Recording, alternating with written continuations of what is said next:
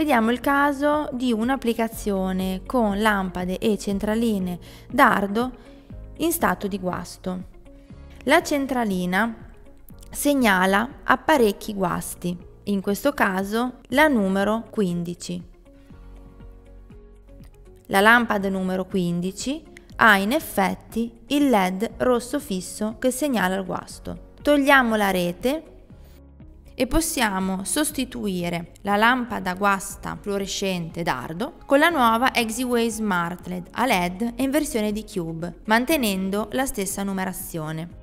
Seguiamo le istruzioni di configurazione per il passaggio dalla modalità di Cube alla modalità dardo. Per procedere è necessario alimentare l'apparecchio ed è altamente consigliato eseguire queste operazioni prima dell'installazione.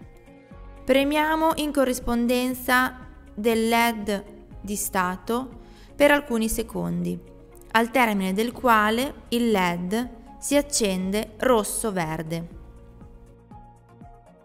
Premendo un'altra volta, continuo con la configurazione della numerazione.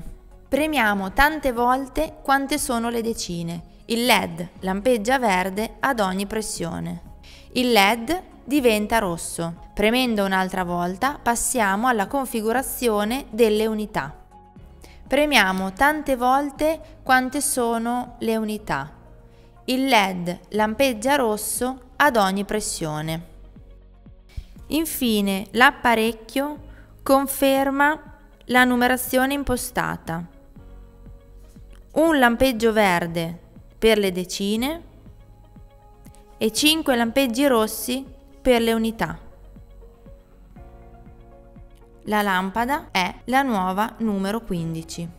Il nuovo apparecchio LED può essere montato all'interno dell'impianto dardo in sostituzione della lampada guasta.